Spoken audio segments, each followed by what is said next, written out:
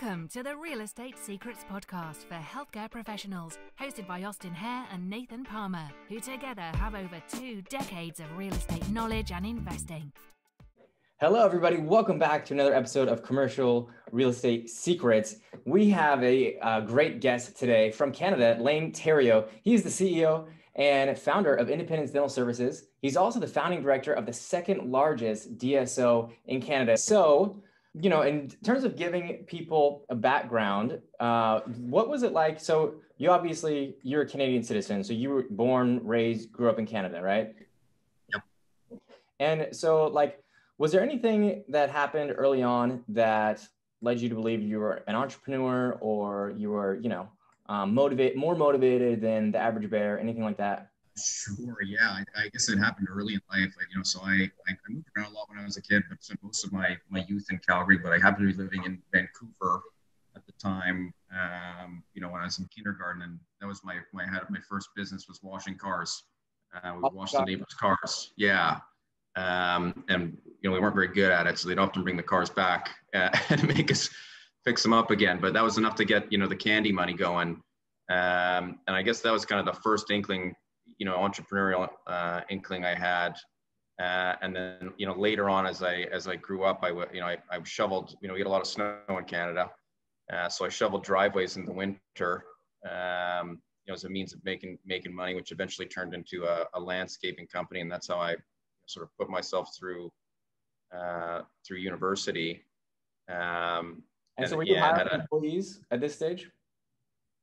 Yeah, I had. You know, I, I think the employees you know, I fired my first employee probably when I was like 18 or 19 years old, just, you know, when I finally needed to help, you know, pushing the lawnmower. Nice. Um, and yeah, I, I, would say it was, it, it, I don't think we were, we were, we were great businessmen, certainly learned a lot. Um, but yeah, it was, uh, it was one heck of an experience. A great job. I was in the best shape of my life. Had a great tan.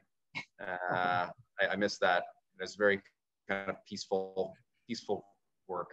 So you kind of learned a little bit um, how to manage people and and grow a team or at least grow a business because it sounds like didn't come naturally, but you had the desire, right? And a lot of times that's what's more important than anything else is like how bad do you want this? Well, absolutely. I was far from a natural. Uh, I actually spent, you know, most most of my life has been spent kind of making mistakes in an effort to, you know, to be successful. Uh, and really, you know, things, uh, you know, kind of unfortunately, you know, the, the moment that sort of changed me in my life was the passing of my father. So when I was uh, 24 years old, my, my, my father passed away and I sort of had, you know, no more, the safety net was gone and I had to uh, really think about what, what I wanted to do with my life. And that was kind of the moment where, uh, you know, I started really buckling down and, and focusing on uh, a little harder instead of kind of being a little willy-nilly and all over the place. So, that was the you know the silver lining from that you know event in my life. Yeah that's interesting. Okay. So that was like the one of the deciding moments in your life. So was that 24 sounds like you have been just out of college. Is that when you decided to go into investment banking? Yeah that's exactly what it was. So i uh, i graduated university in 2008 uh, which was not a great time to be out a job market um, and so, and then it was also the same year that my uh, my father died. So, uh, you know, I made the decision to uh, enroll in the CFA and you know look for you know. So I was working as a sales guy um, you know, for a, a, consulting firm, and um, you know, I decided, okay, this is not not really what I'm doing. I need to get get into into the finance world. And made the decision that that's what I was going to do. Is I was going to become an investment banker, uh, and then spent you know kind of the next five years pursuing that I'm banging my head against a wall. And uh, eventually, you know, I, I ended up getting a job as a, as a stockbroker, you know, wealth advisor, whatever you want to call it, uh, just to get some kind of CFA hours. But it was gave me some latitude to kind of go out and keep talking to guys in the business. And, you know, I, I met with one, one, uh, one guy who said, you know, if you're really serious about, you know, getting into banking, you should probably go back and do your MBA. Um, and so, you know, after kind of struggling and still not finding a job, I, I, I enrolled at uh, the University of Toronto's MBA program um, and fa- found that I actually had a lot more finance experience than a lot of my peers who were trying to do the same thing. Uh, and so was that, yeah, it was a great decision. Um, made some, you know, some great relationships, but yeah, came out of it with a, a role at uh, Citigroup uh, you know, big U.S. bank uh, in their investment bank, working in the mergers and acquisition department. Uh, and you know, after spending a, a, few years there, kind of realized, you know, I don't think this is for me.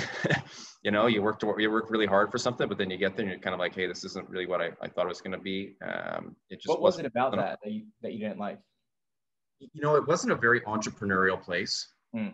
and you know, they kind of the expectations just kind of keep your head down and and, and do your work and it, it made it difficult to kind of shine and and, and be exceptional and I kind of rise the ranks right um, and as much as they sort of claim it's like a meritocracy there's not there's not much you can do to advance yourself other than sort of having the passage of time and I just found that to be very very frustrating mm. um, and you know I I can remember going to my boss with ideas that we could pitch to clients and him kind of telling me they weren't they weren't very good ideas. And I, you know, later on I realized I think he just didn't want to do the work. I think, you know, I think he was content with where he'd gotten to in life. And so, um, you know, that that created friction between us, uh, and eventually, you know, resulted in me kind of waiting for my bonus to to to cash and getting out of the the system. And so that's what was the ultimately the the precursor to to leaving to start, you know, out on my own.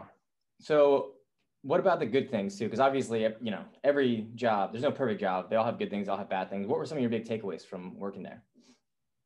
Oh, okay. So the best part of working in an investment bank is just the, the sheer amount of uh, information and, and, knowledge that you get, right? And you get to under, I, for me, you know, I learned about a ton of these different industries. We were really generalists.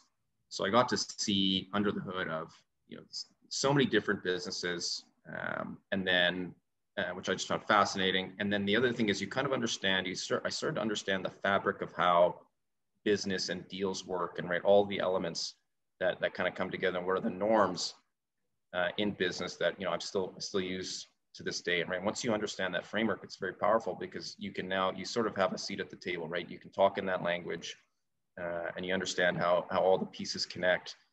Uh, which has been yeah instrumental for you know I couldn't do what I do today without having had that that knowledge. Mm. Mm, that's good. And so it was during that time when you realized, okay, you know, I'm doing this for a big company or a big corporation, but I could go out and do this on my own. Is that kind of what the line of thinking was? Yeah, and so in uh, in Canada, the you know, the private equity world is is largely dominated by uh, pension funds. There's not a lot of big private equity companies in, in Canada, uh, and so you know, one of my jobs there was to kind of maintain a, you know, a database and a, you know, kind of an information package um, for, for what these pension funds own in their, in their private equity portfolios. And that's where I, you know, I kind of saw this, this common thread among, you know, a lot of the, the holdings that they had, which was that they were all these, what I would call consolidation platforms or, you know, pursuing a roll up strategy. And so, you know, that, that's kind of the, the first first opportunity I had to get exposure to to this strategy, right? Where you know you can go into an industry and and buy you know individual businesses and you know they're priced at a you know, lower multiple of earnings, and when you put stitch them together in a big platform, you know they're worth a lot more. Um, and so had the idea that you know maybe maybe I could go out and and you know find some of these businesses, put them together, and, and create a platform myself. Um, and so that was ultimately kind of what what led me down you know my current path didn't didn't really know what industry you know wanted to to pursue, hmm. and so looked at you know kind of everything under the sun from like daycare centers to collision repairs to shops, like like you name it, uh, and a bunch of healthcare stuff. Um, and it was really only out of you know frustration of not kind of spinning my wheels for a while and not being able to decide which industry that you know, I sat down with my partner one day and we sort of made like a little matrix to determine what um, you know what the the ideal industry for us to pursue was. And uh, you know long story short all you know all the healthcare ones sort of did quite well but dentistry was just this clear standout. So that was the moment um, you know where i made the decision okay hey we're going to go and, and start a, a dental roll-up company so how long did you spend because i know you said you waited to your bonus i'm guessing that money bought you some time i mean how long did you spend pursuing other industries or, or just different industries yeah I, I mean, it was at least a couple months. I was, yeah. So I got my bonus, got me a little bit of the way there. I'd also been pretty lucky that I'd done actually some real estate deals, which is, you know, sort of also what intrigued me to uh, to come join you here today. Um, and had had uh, you know sold down. I had a, I had a condo that I was renting out as like an executive rental back in my hometown of Calgary, and um, and then we'd done. I had like a, a little kind of slum apartment building um, that I had, had, had uh, saved from a got a tax sale, um, and sort of fixed up just outside of Toronto. So, uh, and so that, that gave me. Go ahead. How old are you when you got your first real estate acquisition? Was it during college? So my, I guess my first, like, yeah, that first one that I didn't live in, that wasn't my home. Uh, I it would have been right around the time I took my, I got a signing bonus when I joined the bank. I took the signing bonus, and that was the down payment on a, a house in Calgary. It was a little corner lot, uh, kind of in the inner city. On like, you know, we've got these. It was a 50 foot lot with a with a whole kind of World War II era bungalow on it, oh. um, and it had it had you know a, a, two suites. There was an up down two units so I could, you know, my, my yield was pretty darn good on the thing. And I thought, you know, it's on a nice corner lot. Uh, you know, eventually some, and if you look down the street, you know, it's kind of an old house. And then on the same size of lot, there would be two sort of infills. Uh, and so that, that, you know, was happening all over Calgary. So I thought, hey, you know, so eventually some developers going to, you know, buy this thing and, you know, maybe there's some good value here. Is that what um, happened? Or do you, so, you still have it? Yeah, I, so I did, I did end up selling it. Got, uh, got pretty lucky with the timing because this would have been in 2014 and you know calgary's a big oil town and so this is when you know sort of the oil oil crash was just about to happen and so yeah it's exactly a developer came in i only owned the property for you know maybe two years um, and the developer came in and bought it and you know he, i kind of just got lucky because the uh, the market sort of fell out right under uh, have you calculated what what percentage your roi was including you know the rental that you had for two years geez, I you know I paid like a low low four hundreds for the for the place. I want to just like 420 grand, something like that. And I think we sold it for just over 500. Nice. Um, and you know, it was, uh, I, you know, I'm trying to, yeah, I had, it was like, we, we must have done it because I, my bonus that year was only like 40,000 bucks. So there's no way I could have put 20% down on it. So I bet you it was a, you know, a 5% down kind of deal in Canada. We have these CMHC type financing where you can get high leverage if you're um, if you if you claim you're going to live in the home, right? So uh, uh, I'm pretty sure that's what I did. so yeah, the, the, the, return was was was probably pretty good, probably in the you know two three x over nice. a couple year period. Nice, and then you were positive cash flow uh, along the way when you're renting it out. Yeah, I mean, when you can get two units out of one, right? Yeah. Just breaking up that uh, that unit, right? If, if I rented the whole house I probably would have taken, gotten, you know, 30% less rent. So yeah, it cash flowed quite well out of the gate. I think I, will have to pull up my, my spreadsheet, send it to you one of these days. But uh, I think I had a, you know, cash on cash yield was like way in the teens just on yeah. that basis. It makes sense. People like privacy, you know, because I've got a couple Airbnbs and I tried the individual room thing. Um, you know, and you can rent an individual room. Maybe it was like 50, 60 dollars a night. But if you rent the you know, three bedroom, the whole unit, like privately, I mean, now you're looking at 250, $300 a night, right? And so it's like people will pay that extra amount for privacy. So splitting up a house like that into a duplex, like they'll pay a little bit extra per square foot for sure if they're going to be getting privacy. So it makes total sense. And then after that, what was, did you continue, like, were you buying real estate along the way, uh, you know, personally while you had your job, or did, when you sold it, did you reinvest that into, into more real estate? So yeah, no, when, when I, uh, you know, I finally left the, my, my role, I needed all, all the cash to kind of get me through, um, you know, to the, to the end of the, to the big deal. So I had sold it all down, but yeah, you know, during that time, leading up to that, you know, I, I created some wealth that allowed me to, to have that, take that, you know, two year period where I basically had no income uh, to go and put the deal together. So, you know, turned my, I had a condo that I was living in in Calgary before I went to uh, university and turned that into uh, an executive rental. So I was renting it out by the month. Hmm. Uh, did do a little air, you know, I did Airbnb when I couldn't get someone in there for the whole month. Um, so that's where I got my first uh, taste of Airbnb. And uh, it was, it was, I only had one bad experience where a, a, prostitute got a hold of the place and was hosting her Johns there, um, which is, is interesting dealing with the fallout of that but other than that, actually, was uh, it was a great experience, and, and we made made uh, you know some good good money on it.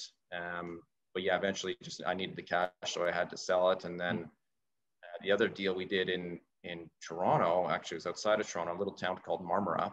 My my partner, who I I worked on my first uh, dental business in Canada, um, you know, he he had identified that there was these, these tax sales happening in, in Ontario where, you know, if you don't pay your mortgage, right, it goes to a, a power sale, right? The bank will sell your house to collect on the mortgage. Well, if you don't pay your taxes, your property taxes, the city will sell your house um, or your property. And uh, so usually, you know, these are very, very distressed situations because if there was a bank that was involved, they basically stepped away. They've, you know, they figured it's not worth their time. Uh, wow. And so we found a, a little uh, apartment building in this little town that, you know, was a, a, mining town in like the, around the turn of the century and not really a lot going on there.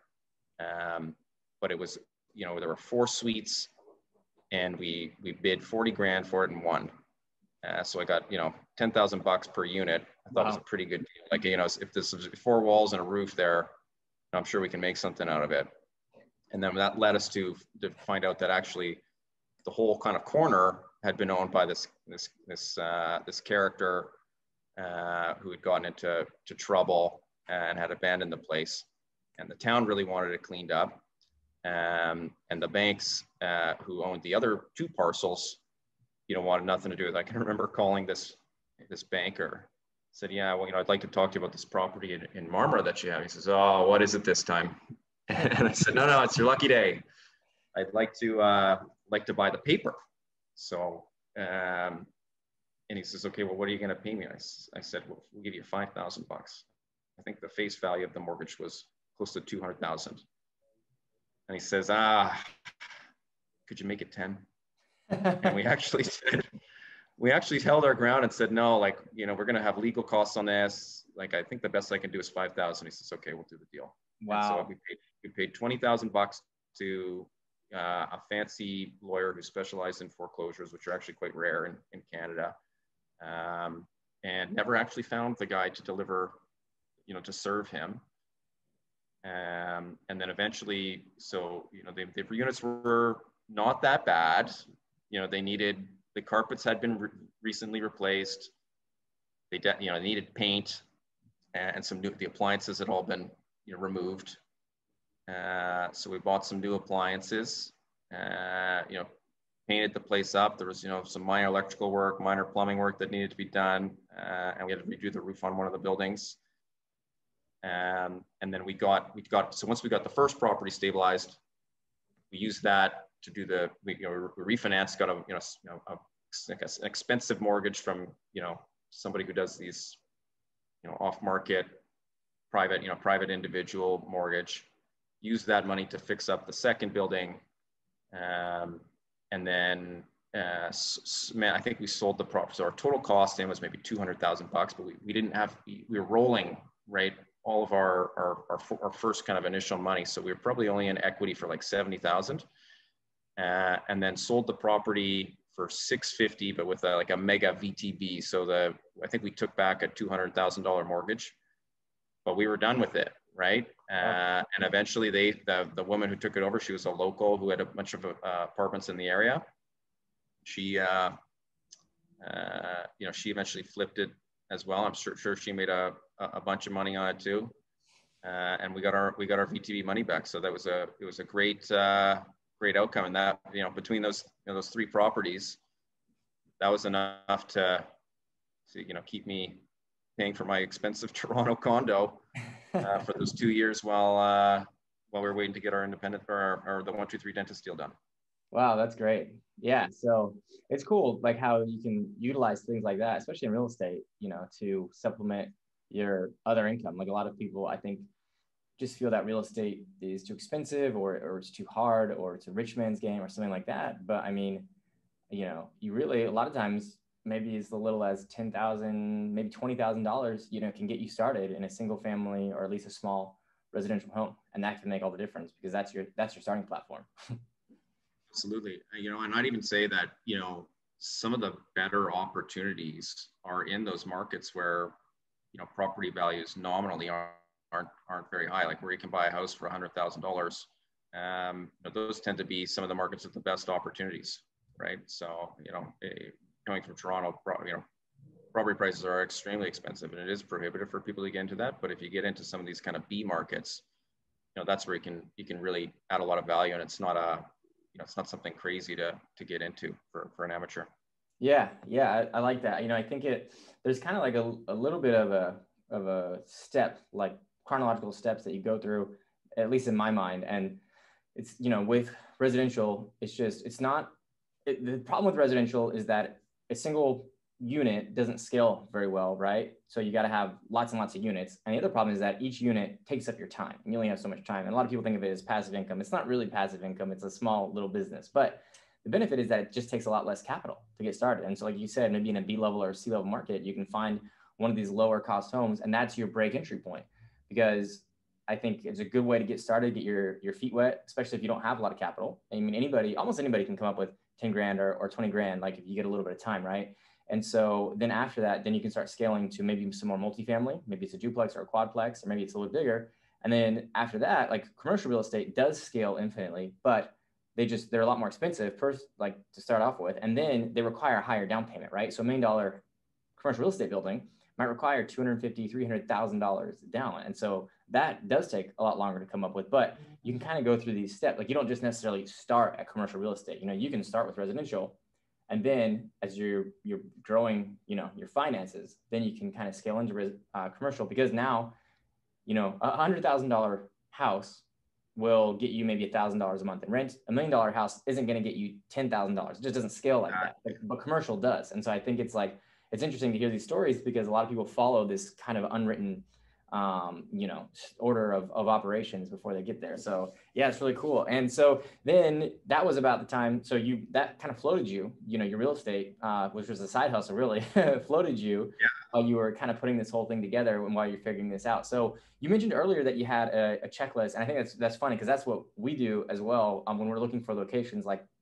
because there's so much data, there's so much information, right? So we like to really collect a ton of data and then use a numbering system for each column that we're looking at, you know, and then after the end, it gives you a lot more clarity when you can say, oh, wow, this is, this is like, this scored a 79 out of 100, you know, the next closest one is 50 or whatever it is. So what were some of like the, the, um, metrics that you guys were looking at when you're looking when you're deciding which industry to go into? Uh, yes, so that and it's uh, it sounds very similar. So it's basically exactly we did. It's like a scoring system, and it's totally unscientific and it's naive, right? And it, it you know it's just uh, a way to put sort of relative value on things, right? And who knows, you know, what's what's the right way to do and what isn't. But uh, yeah, all, uh, that's exactly what we did. And we so we had we took out basically a blank piece of paper wrote down all of the industries that we wanted to, you know, we were, we'd been researching. Uh, so it's maybe about 20 different industries. So wrote those down on the left side of the page. And then across the top, we put all the metrics that we were, we were interested in. And so, you know, the, the first one for us was the industry has to be large, right? It's got to be lots of stuff to buy. Uh, it had to be highly fragmented, right? There were no big players in the market who kind of dominated. Um, we wanted the quality of revenue to be high, right? So that's an, is this, is this thing recession proof? Is it stable, right? Um, and uh, we also wanted to be growing, right? So if, if we get, those are probably the, the, the, biggest ones. And then we also had a, a social impact one, right? So, you know, didn't want to be in any kind of polluting industries or, you know, you know, industries maybe considered like predatory, right? Like we, uh, you know, we looked at like a payday lending business, for example, you know, that, that we felt well uh, from a from a social uh, responsibility point, right? So uh, and then you know created like a, a, you know big matrix and just kind of put a zero, one, or a two in each box and added them up. You know, equally weighted them all, which probably wasn't you know not, not wasn't the, the right way to do it, but it was enough to sort of um, you know break the uh, you know the, the freeze that we had had and sort of get the get us unjammed up so we could pursue something. And that's where we, where we discovered that dentistry was kind of this clear standout for us. Okay, cool. So spent some time, looked at your metrics, figured out what, what it is that you were enough, like, you know, incongruence with enough personally and also financially. And then what was the next step after that? So after that, um, we, started talking to the brokers who sold dental clinics and saying, you know, hey, I want to buy some dental clinics. You know, what do you got? Uh, and so I had a meeting with with one broker who, who says, well, listen, Lane, if you want to if you want to get into this this dental space, you got to talk to kind of the grandfather of uh, corporate dentistry in Canada. was this fellow Dr. Howard Brockett. And so he set us up with a meeting with with Howard, and um, we, we end up, we go to meet Howard at a restaurant and we sit down and we're kind of explaining to him what we want to do. And he's kind of politely nodding and not saying a lot. And I'm thinking to myself, this guy is, you know, is, we're not, we're not landing. Uh, and so at the end, he says, you know, guys, I get, we I get one of you comes down here about, you know, every month and trying to do the same thing that you guys want to do. But I, I, think you guys are the first ones who might actually be able to pull this off. So I'm, oh, I'm going to help you. I'm so shocked. Okay, great, right? Uh, but he says, you know, my my time's not free, so I want a you know a ten thousand dollar retainer, and but I'll I'll help you guys get get started. And so you know, we left the meeting kind of going, is this guy hustling us? What what's going on? Um, but eventually decided that you know in the grand scheme of things, it wasn't a huge amount of money. Um, and you know it was it was worth the risk. And so you know we we paid him. And uh, it, boy was it worth it because he he set us up with kind of the you know the right lawyers to structure the deal the accountants uh, who could help us out from a from a structuring perspective and introduce us to kind of their clients who were who were dental clinic owners. Uh, all of his kind of former doctors from his business is he you know he had run he had 107 clinics at, at his peak uh, and some of those doctors were still in business. Uh, and then later on, we found out that, you know, now I'm very close with Howard. Um, he didn't even need the money. He just wanted to see if we were serious. Uh, and so he, he uh, you know, eventually introduced us to, you know, the formative partners that uh, helped us launch our, our business. Do you think it was your your background in M&A that helped you guys, you know, win him over? I, I think so. I think there was a little more of a, a seriousness in the fact that we we were not dentists, because I think a lot of the folks who, who wanted to do this were dentists, and he had you know kind of a biased view maybe towards them. You know, and you know I I love my dentist partners, uh, but and some of them are great business people, but the majority of them you know are not right. Uh, so I think that definitely uh, played a factor. Um, but I yeah I think it was. Um, you know, sh- showing that we were prepared to to put our own money in and that we were, you know, we were serious about we were really going to do it. We are going to follow through. I think, that's what what got them on board. Mm, that's great. Okay, so um, what was it? How was the growth process like after that? How how many how many did you start out with, and how many did you, were you able to grow it up to? Sure. So, I mean, it took us forever. Well, felt like forever to put together the first deal. So we we stitched together 13 dental clinics, uh, some in BC, some in Ontario. Um, and that was kind of our, our initial group. And so we closed that transaction in the summer of 2017. And, you know, at first it was really slow going, but, you know, uh, eventually we, we started to get uh, a lot of traction. So it, we, we, we grew pretty rapidly, uh, especially in kind of the last uh, over that two-year period ahead of uh, you know our, our private equity deal in 2019. So we grew from 13 to 70 clinics, and, and, it was almost two years to the day, which was the same point in time where we sold a you know pretty significant stake of the business to a, a private equity company in Canada called Peloton. And so that was a, a great moment for me because the share price in that deal was a 93% premium to the share price um, you know that we, we issued shares at in our 13 clinic deal only only two years prior. So, um, you know, that was enough to crystallize my my stake in the company, but was, um, you know, a, a, a, little bittersweet in the sense that uh, I was politely asked to resign from the board, uh, along with uh, most of my board mates, to make way for for Peloton's new slate of directors. So, that's what, yeah, got me out of that uh, and into you know created opportunity for for something new. Right. Yeah. So in hindsight, I'm sure you probably look at that as a blessing. But at the time, I mean, were you wanting to stay on board, you know, indefinitely for the foreseeable future to help them continue to grow? I was a little bummed out, but it, I kind of expected it. Mm. Um, you know, the the I, I don't know that I necessarily had the expertise to you know be you know, on the board of a you know, when at the, you know, was now multi hundred, you know, the company's enterprise value was in the hundreds of millions of dollars, right? Um, and I, you know, only three or four years earlier, I was an associate in an investment bank. You know, it, it, it might, it maybe wasn't uh, the right role for me. Um, but yeah, you're, you're absolutely right. It was, um, it, it ended up being a, a, a huge blessing in disguise because it gave me the space to go and uh, pursue other opportunities. Uh, and you know, here I am. I'm now the you know the CEO of a of a private equity backed dental roll up that is sort of on a similar path. So mm. yeah, it worked out. What um? So how did you transition from you know to from Canada to America? What made you decide to start doing business here at the stateside? Sure. So you know, I really it really was you know a desire to not compete with my my former colleagues um, you know, I wasn't really caught up with a, a, non-compete, but you know, I'm sure I signed a confidentiality agreement or something that that would have made it difficult for me to to do business uh, here in Canada. Um, but really, it was just about you know the fact that we'd created a, a, really formidable competitor with one two three, and you know, Dentalcorp sort of was playing in, or that's our big competitor here in Canada they were kind of playing on one side of the market and we had carved out a niche in, a, in another area of the market. And so there, I, I, didn't really see an opportunity to create a differentiated platform that I thought could be successful competing against, you know, these two sort of giants now.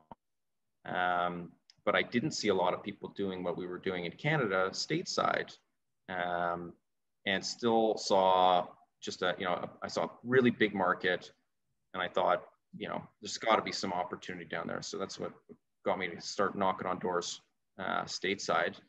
Um, and you know, having done it once before, you really kind of took the the playbook. Uh, you know, had all the templates. I had you know term sheet samples I could use, right? Marketing you know materials that I'd already created, financial models I had already created, um, and so took those down uh, to the U.S. and uh, it was actually um, what the, the second highest bidder for one, two, three, the unsuccessful bidder that lost out to Peloton. You know, I became friends with with you know the one of the guys on the deal team there, and you know he wrote me a a, a nice letter that basically said, you know, we're really interested in, in what Lane's doing, and you know, we're we're looking to to back him on his you know on his platform. And so I kind of took that letter and started talking to the broker. Says, look, I've I don't have financing. You know, it's not committed but you know, I've done this once before. And the guys who bought you out up in Canada. Well, this is not the guys who bought us out. It was another company. So we ran a process. Okay. Uh, so that stake in one, two, three, and so we got a number of bids came in, and then you know we picked two parties to kind of go into the deep diligence and and further refine their offer. Um, so um, it was a it was another company, another private equity company that that was the second highest bidder who, you know, I became friends with this guy and, you know, he, he wrote me the nice letter that, okay. you know, kind of gave me credibility in the US market. So, um, so yeah, started talking to the, you know, the brokers again, you know, I think that's one nice thing about the US is you guys have a much more developed kind of broker market here. I think there's a lot more, a lot more, you know, clinics flow through the, the broker channel. Um, and that was a nice way of getting some, you know, when you go through a broker, I mean, this is somebody who has made the decision to transact, right? And so you can get your, you can get deals uh, going, you know, quite quickly versus, you know, in Canada, we'd, we'd be talking to a lot of dentists trying to get them to sell us their clinic. And, you know, we might start a conversation a year, two years ahead of when they actually want to transact, right? And so when you're trying to get something off the ground, like you don't have time to wait. So, um, yeah, you know, got a few good opportunities uh, through these brokers off the hop and signed. I basically set up a, in all of my term sheets, I created a clause that says, listen, I'm, I'm, I'm trying to create a new platform. I was very upfront with them. And I need to have a certain, you know, level of EBITDA across the platform before I can actually close on your clinic. So I'm going to pay you, a, you know, a good price. I paid, you know, some premium prices for the first few. Uh, but I'm not going to, when you sign this, I'm not going to start doing the work on the diligence. I'm not going to start doing any of that until I go and sign a bunch of these other term sheets that all add up to, you know, 5 million bucks of EBITDA. And so signed kind of the first two and I had an expiration date. I had to do it in three months. So I signed the first two and then I had kind of a long drought until, you know, I had days remaining before, you know, that, um, that three month wow. uh, timeline to get the, the deal size um, wrapped up before signing the last, the last term sheet. Um, and then uh, from there, you know, we started to work on you know, financial diligence, a big part of, uh, um, you know, the M&A transactions is to do what's called a quality of earnings uh, report, right? Where you go and get a, you know, usually a big four accounting firm to get their logo on, you know, a report that says, you know, we've verified that these are the earnings, right? They'll go and look at the bank statements and all the production reports and tax returns to determine that you know the earnings are real. And it, it's expensive, right? You got to spend money to do this. So I, you know, but I've got enough kind of deal size together. Um, and so, you know, start spending money and then COVID hits, right? And, you know, the, the financing that I'd contemplated with my, my buddy there, you know, he's, he's no, no longer interested, oh. right? Um, and so now I've got, you know, spent a bunch of money, got clinics that, you know, I can't possibly close on. No one can close on. They're not open, right? So we sort of, you know, bided our time. Um, and then eventually, you know, we're coming, you know, in the summer, things start getting better. The clinics are open. There's all this pent up demand. You know, the clinics are going, things are going quite well, but, you know, still a really tough time to be out raising money. It was, you know, just the sentiment was so bad. I can't tell you how many people I would call and they'd just say, you know, we're not buying anything right now. We're not looking at, at any, at any point in time, during COVID, were you just thinking to yourself, wow, what have I gotten into? Like, were you worried that the whole thing might just go up in flames because of the pandemic? Oh, oh for sure. Uh, you know, I, I would many times I would calculate exactly how much money I, I owed to these people and how much I was going to lose. Right. Um, it was usually before like starting a new piece of work. Um, right. That I go, geez, to kind of really afford to get keep going on this. Um, so yeah, there was there was definitely moments where I thought I was going to have to pack it in. Yeah, um, it was scary times in March and April. It was, yeah, for sure. Um, but you know, it, it sentiment was turning, and I sort of made the decision. I said, "This will pass. That you know, nice. we're going to get through this. It will. It will get better. Uh, it's not going to get worse." And my sort of philosophy was just keep growing, just keep keep finding other partners to grow because the, the bigger my package is, the more attractive it's going to be, you know, to a, uh, a third party. Um, no, that's so, good. You know, humans are are really resilient. Uh, you know, so it's so easy to look at in the midst of all of it and think like, this is it, this is the end. Like we're going down. You know, we'll never be able to recover. The markets will crash. The housing will crash. Everybody will be unemployed. We're all going to die. but like, you know, we're humans are pretty good problem solvers, and anytime you bet like long term against the market, against human ingenuity, usually lose. And so it's hard to stay focused, stay true to the point, like stay true to your your goals at during the time of crisis. But it sounds like you did that. And it sounds like that's when it really started to pay off for you guys, is right after we started coming out of that. Well, it actually gets worse. Um, oh. So yeah, so that you know, I I finally found, you know, someone who was willing to invest, and so we signed a, a term sheet with them to to finance us. But and and I thought the guy was you know serious, and so we you know we start working through the process to get him all the information he needs, and you know eventually he starts asking for strange things like he wants us to drop certain deals, and he wants you know there's a point where he said, listen, I think you need to your management team's a little too big, you guys should cut some of these guys. I'm going. This is not that doesn't work for me. Like we're he's trying he you know he was, he was trying to make excuses to not do the deal. And I sort of realized you know this guy was just really kicking tires uh, and so we ended up wasting a whole bunch of more time on, you know, another financier. And meanwhile, you know, the doctors, some of whom, you know, we signed term sheets with initially in like November of the prior year, and this is maybe September now, are going, you know, Lane, are you, are you sure you're going to be able to get this done? Right. Cause we're, we're starting to lose faith and there's other opportunities that, that are coming along. Um, and so that's when I, I made the decision to um, engage uh, an investment bank that, that specialized in, in dental, in dental financing. This is the Logan, Logan Growth Advisors who we hired. And, you know, I told them like, look guys, I'm running out of time. I need to get something done quick. And they said, well, we don't know if we can pull it off, but, but we'll try. So I had to, you know, I had to cough up even more money, pay them a retainer. Um, and just, uh, we had we had ex- gotten extensions from all the doctors, and the, la- the latest extension we got ended in uh, on November 30th. And we started working with Logan maybe you know the end of September. And so they we'd only got a month where they finally we finally got an offer from the Firmament guys.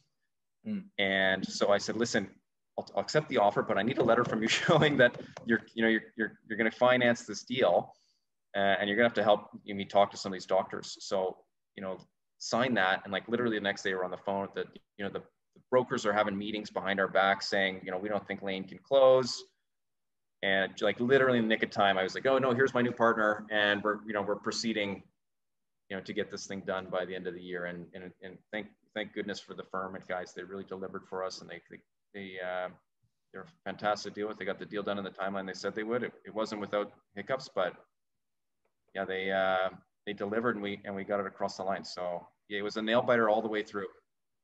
Wow. Okay.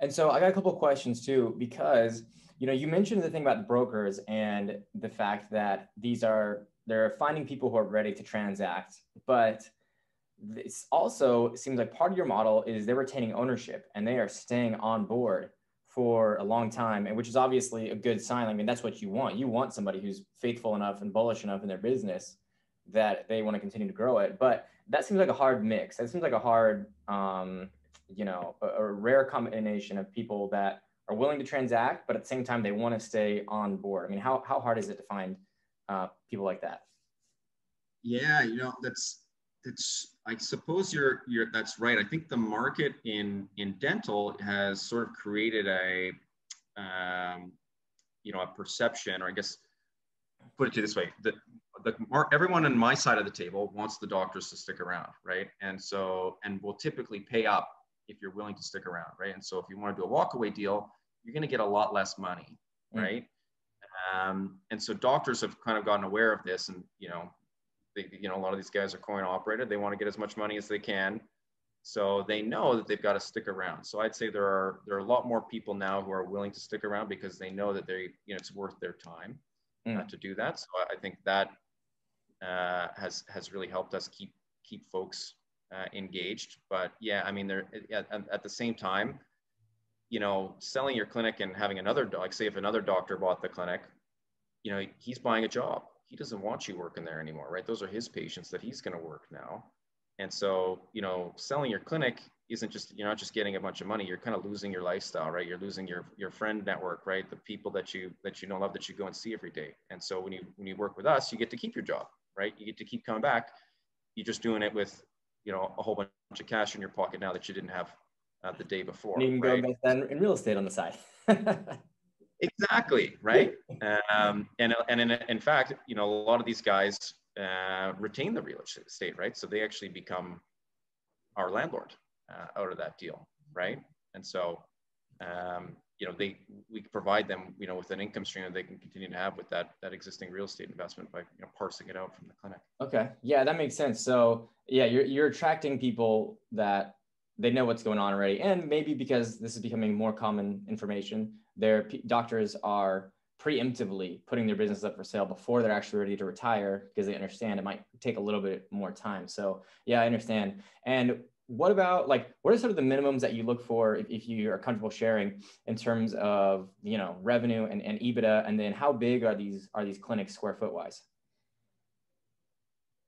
Yeah, so uh, they, they certainly range. I mean, we've got some clinics that are, are, are pretty big. So, you know, I've got one of our clinics has 24 operatories, uh, wow. and it's probably 15,000 square feet. Um, on the smaller side, we've I I've seen you know very profitable clinics that have you know sub 2,000 square feet.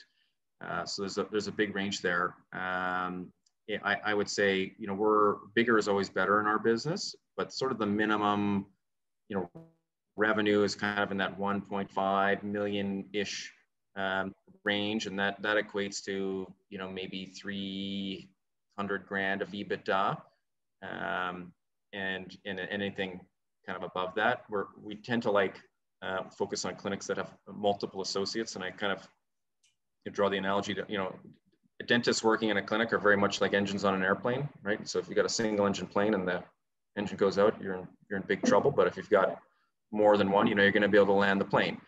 Uh, so that's another thing that that we're focused on. Um, and then you know the other kind of metric that I, I look for for kind of clinic health, if I could just pick one metric, it's the new patient flow because it's sort of all encompassing, you know, of how well that they're they're marketing, how well you know what their reputation is, and you know, patient you're losing patients every day, you just don't see it, right? It doesn't appear in the numbers until you, know, you realize two years later they haven't been back, mm-hmm. right? Uh, so th- those are kind of the, the the big things that I look for. Okay. And um, you guys have eight locations that you essentially closed on almost simultaneously, or at least at the beginning of 2020. And your goal yep. is to get 20, 25 this year or more, right? Yeah, I mean, uh, the the bigger we can get, the more successful we'll be. So, you know, we're we're really you know, being aggressive in in trying to identify new opportunities for for partnership.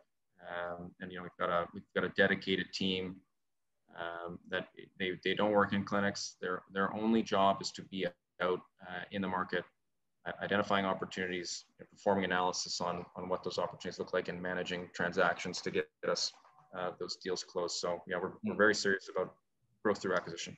Nice. And so um, you mentioned a lot of the doctors maintain their real estate. Do you guys, I guess that just becomes part of the negotiation process. I mean, do you have a preference for that one way or the other? Yeah. So, I mean, from a, um, you know, just a financial math perspective, we, the, the valuation of a dental clinic business or a platform business in terms of the, you know, price to earnings ratio is way lower than what real estate is typically, right? And so real estate trades at a much better valuation. So it's it's almost dissynergistic for it to be in, in our platform. So we don't ever acquire it. Uh, what we'll instead do is we'll enter into a, a, triple net lease with the doctor. So, you know, good deal for them.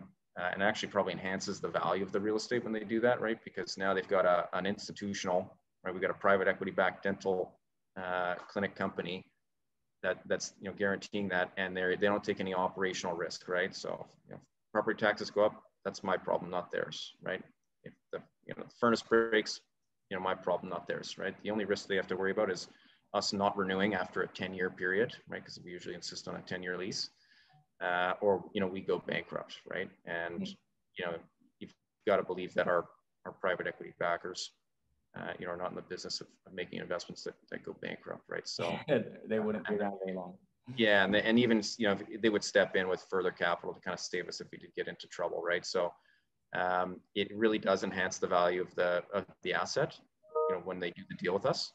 Um, and there are some there's companies out there that have recognized this that are you know out acquiring you know uh, buildings that you know house our dental clinics um, you know, because they can they can put them together and kind of create like a, a medical office REIT that you know can often be valued. You know, it's the same same kind of portfolio effect like in our business, right? So uh, it's a great way to create value, and they, uh, the risk profile is is quite good for them.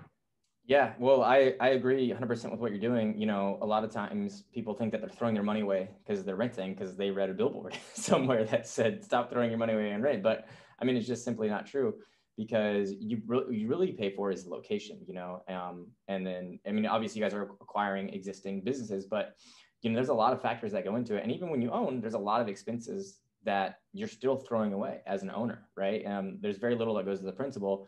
And so, like you made the distinction earlier, you you pointed out like your return, your ROI is less on the real estate than it is on your business. So we're all limited by the amount of capital that we have. I mean, you're private equity backed, but they still want good returns on their capital.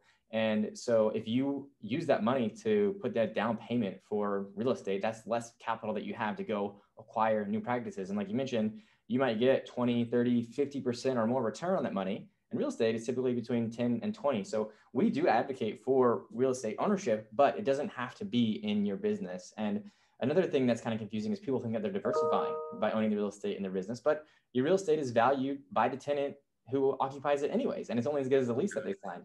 So yeah, I mean, you're absolutely right. Um, sometimes what we see people do, and what and what we we help and, and coach people through is purchasing the real estate, uh, you know, signing the lease themselves, and then selling that quickly after to recapitalize. And you can make you know some significant capital uh, during those types of transactions as well. Now, the downside is it, there's no guarantee that it's going to sell. You know, it could could be a month or it could be a year. Um, and so you still you want a little bit of, of deeper pockets, but we've we've helped people, and even in the DSO space, you know, put together funds and stuff like that. But um, yeah, so I you know I I agree with with your thinking on that, and you know just hearing you say that that's definitely a way that we could work together too, because we could potentially be uh, interested in, in buying some of that real estate. If you know for you guys, if that deal is hinging on the dentist selling the real estate, you know, and if you guys need a buyer, then that's definitely something where we, we would be interested in, in taking a look at that and seeing if we can work together. Yeah, no, for sure. And, and even just to further to your point about, you know, renting versus buying, like for, uh, you know, a long time, I rented my home, but I owned real estate that I didn't live in, right? And yeah. Because the, you know, the, the, the return on the, the house that I was living in was, was poor. but I could get better returns elsewhere. So I, I totally uh, appreciate that point. It's not home, home ownership isn't necessarily the right the right path for all. Yeah, yeah. A lot of people fail to realize, okay, and whether it's a home or commercial building or whatever, I mean, a big part of your, you still have payments. I mean, hardly anybody pays cash. I wouldn't recommend it anyway. So part of your payment is going to principal. Sure, that's your return. But another part of it's going to interest. Another part of it is going to taxes. Another part of it is going to insurance, you know, and then you've got all these other fees along the way. So, you know, largely your expenses like are very similar, whether you're, you're renting or, or buying. Now, if you are confident, you have high conviction that your area is undervalued or is about to see significant growth, then you might have a little bit of a different story. But for the most part, you know, that's that's the exception, not the rule. yeah. So um, and then how is everything looking moving forward? Um, are you guys on track to, to hit your goal or, or past your goal? How do you see things going in the future? And, and what's your like your 10 year target, your 10 year timeline? Yeah, so uh, I, I, I think we're we're certainly on track for for our goal for this year. I think we've, we've still got some wood to chop. Um, we've got a you know a, a, more than a few you know deals in hand where we've got a you know term sheets executed that they'll be joining the platform. Um, but our you know, our kind of pipeline of opportunities where we're you know, where we're in negotiations and trying to get those term sheets signed is, is very wide. And you know, I'm really impressed with what the team's done uh, so far. Uh, so I think we'll I think we'll be uh, you know if we don't hit our goals, we'll be very close this year. And then uh, I, I usually think about the business in kind of like a five-year time horizon. That's usually what you know the private equity overlords want to think okay. Uh, in terms of. But uh, you know we're we're trying to get to you know a hundred clinics or more in the next five years. So that that's kind of the the goalpost. Nice. Well, if you hit your goal of 25 this year, you'd be ahead of schedule. yeah, yeah, that's great. Okay. Well, um, so if anybody, you know, they, they want to get in touch with you guys or they want to know more about what you do, um, what would be the best way for people to go about doing that? Sure. Uh, uh the, easiest way, if you go on our website, uh, independencedso.com, um, there's a there's a little form there that you can fill out. Give us your information, uh, and someone from our team will be in touch with you to, to explain what we're up to. And I, I think you can actually use with the wonder, wonders of technology, you can actually book an appointment, um, you know, talk to our, our chief growth officer right on the website. So that's re- ready to get in touch with. That's great. Well, awesome. Lane, thanks so much. I will, uh, I'll write that down and I'll put that in the show notes so that people can uh, reach out if they see fit. Awesome. Thanks for the time, Austin. Oh yeah, absolutely. Have a great one. Cheers.